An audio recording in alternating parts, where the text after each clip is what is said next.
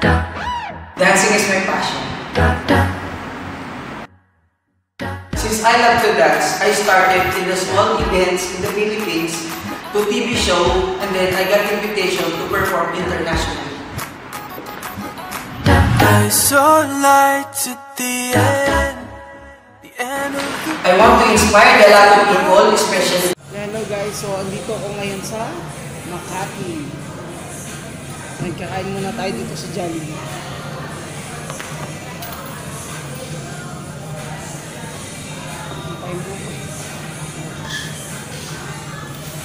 So guys, dito, ah, papunta kasi ako ngayon sa ano sa gym.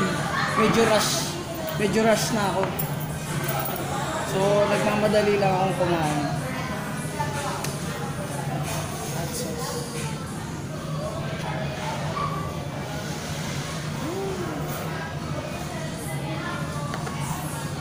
So guys, atag dito, yung ginawa ko today, ah, nag-vlog ako. Tatlong vlog yung ginawa ko. Unahin ko na yung pinakamagandang vlog ko. Pumunta ako sa ano, pumunta ako sa sa event ng Lee. Yan. So since ang daming model, tsaka mga artista, yung pinaka-star na artista nila, si Julian San Jose. Ayan, si Julian San Jose. So kumanta si Julian Jose ng parang Edge of Glory yata yun eh. Basta kanta ni Lady Gaga. Basta kanta ni Lady Gaga, kumanta siya. So binidyo ko naman siya so mapapanood nyo siya. Daming tao, siksikan eh. Tapos, tawag dito, kain na muna ako.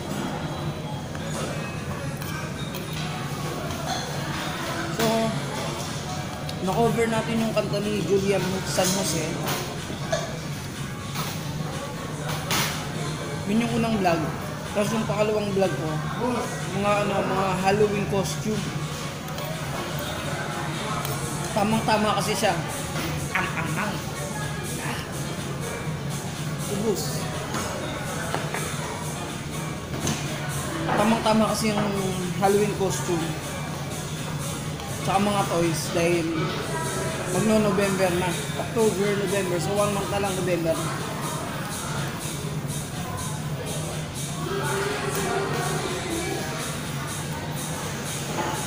So nandito ako sa ano sa SM. SM Ayala. Pero ngayon, nandito na ako sa may Glorieta. So parang ano ko to guys, parang stopover ko to. Kailangan ko muna kumain, nagugutom na ako. eh. Bagong gising kasi ako. So guys, yung makwento ko sa inyo, una, unang vlog kay Julian San Jose. Pangalawang vlog, mga ano, mga ang tawag doon? Mga pang Halloween costume, mga pang Halloween toys. Yung pangatlo, ano yun guys, um, yung pangatlong vlog ko, ano to dito? Naisip, may hindi kasi dito kaya nawala ako. Um,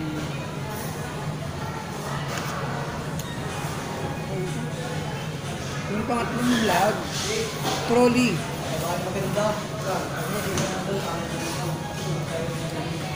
Yung mga toys. So, yung dalawang vlog ko, pang bata siya, pang kids channel ko. Kasi may kids channel ako, may kids content ako eh. Kasi ang yung YouTube channel ko, hindi lang siya pang matanda. So meron din siyang mga pambata para syempre ang target viewers natin lahat ng age eh. Minsan nga mas mataas yung views sa, sa mga bata kasi um, dito, lagi nagsi-cellphone, addict. Pero masama yun ha, dapat kontrolin natin yung mga bata sa pagsi-cellphone. Lalo na yung mga ano, mga 2 years old to 4 years old. Based sa experience ko kasi, marami akong nakilala. Delay yung speech nila. Tsaka, yun nga, yung development nila, hindi sila nagsasalita. Hindi katulad ko, madaldal ako, puro ako salita. So, hindi, ibig sabihin, kunwari, sa case na alam ko, 5 years old na pero ABC pa lang din yung gusto.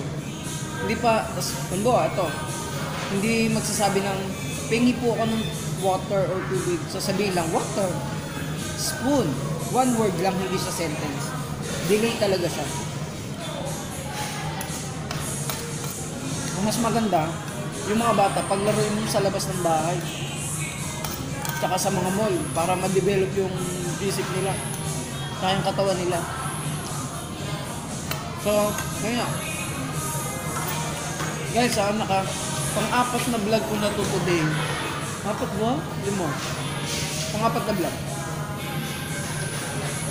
Kaninang umaga, nag, nag-shoot na ako ng isang vlog. Pinaka, pinagitara ko yung ano, yung yung isang estudyante ng MPC. So, hinaranan namin kayo. Diba? So, naka-apat na vlog na ako. Tapos, pang lima kong trabaho, yung magtuturo ako ngayon sa gym. 8 to 9 p.m. yung dance class ko. So, after ng 8 to 9 p.m. na yun, pahinga na. Ay, hindi pa pala pahinga. Kaya ako sinabi na hindi pa pala pahinga kasi, guys, para malaman nyo lang, pag uwi ko ng bahay, nag editing pa ako. Inaayos ko pa yung YouTube channel ko. Saka nag-aaral pa ako ng mga effects. Paano mas maging cinematic yung mga videos ko for the future. Yun. Pero syempre, kailangan muna natin kumain, di ba?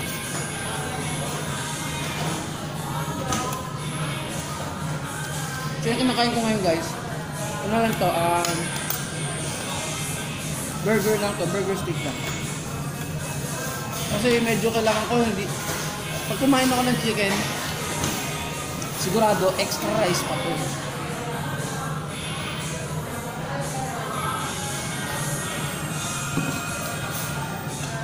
Kaya medyo kailangan magaan lang kakainin ko.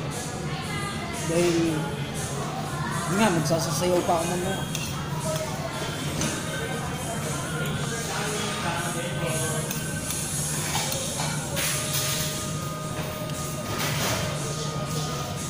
Bukas or this week, abangan nyo. Piling ko bukas ko magagawa eh. Magmumukbang ako, magpo-food vlog ako ng pizza ulit. Pero dun pa rin ha, same location ha, dun sa ano, pizza ni Owie Store. Kasi tindahan yung mga kaibigan ko eh. Ka-dancer ko yun dati. So,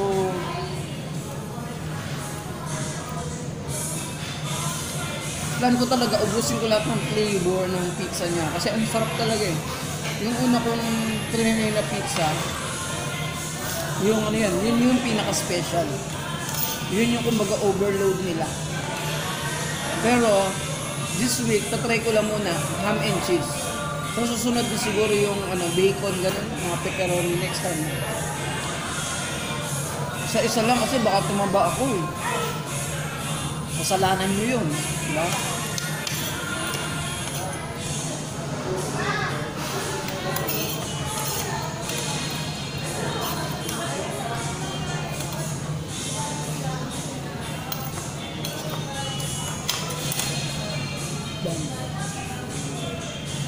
So guys, karamihan ng mga food vlog ko, tumatagal siya talaga ng mga 18 minutes to 20 minutes. Pero ngayon, sobrang bilis lang. Eh, hindi naman talaga food vlog yung ginagawa ko ngayon. Ah, gusto ko lang ikwento sa inyo kung gaano kahirap yung araw ko. Na, kasi pag sa video, medyo parang ang sarap tingnan eh. Yung video, isang click mo lang. Lalabas na yung video eh.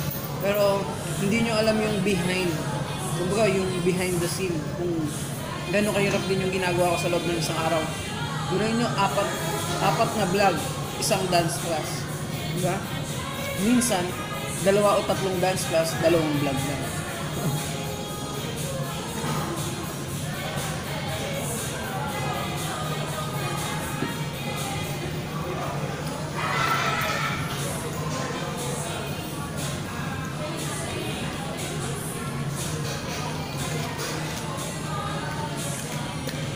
Kailangan natin to guys. Para di tayo magkasakit.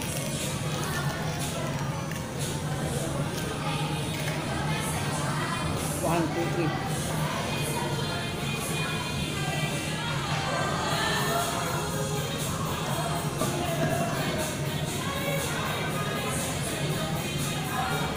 Okay na ako. So, yun guys, ah, panoorin nyo to. Bye muna.